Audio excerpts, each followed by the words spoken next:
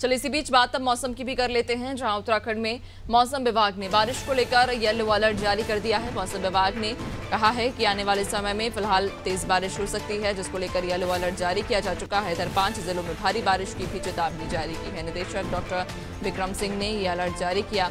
कई जिलों में हल्की से मध्यम बारिश के भी आसार हैं। ज़्यादा जानकारी लेंगे सहयोगी सोनू लगातार हमारे साथ बने हुए हैं। सोनू, बारिश को लेकर मौसम विभाग ने उत्तराखंड में येलो अलर्ट जारी कर दिया है। किन इलाकों के लिए या किन क्षेत्रों के लिए ये अलर्ट जारी किया गया?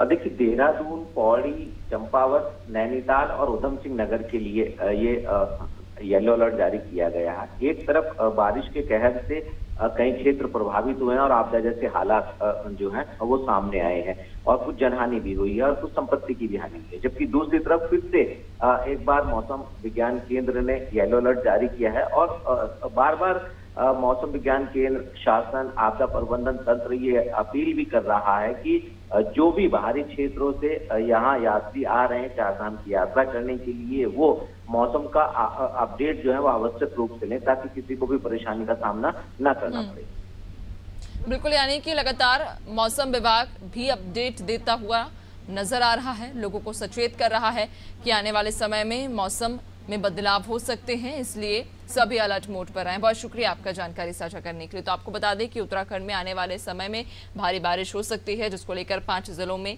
भारी बारिश की चेतावनी जारी की गई है। इसके अलावा येलो अलर्ट भी बारिश को लेकर मौसम विभाग ने जारी किया है। खासतौर पर सभी से अपील भी है कि इस ऐसे मौसम में भारी बारिश के बीच अगर कोई ज़रूरी काम हो तो ही अपने घरों से बाहर निकलें, अन्यथा अपने घरों पर रहें, सुरक्षित रहें और अपनों का भी ध्यान रखें। क्योंकि मौसम विभाग के द्वारा ये साफ़ किया जा चुका है कि फ़िलहाल मौसम में परिवर्तन होने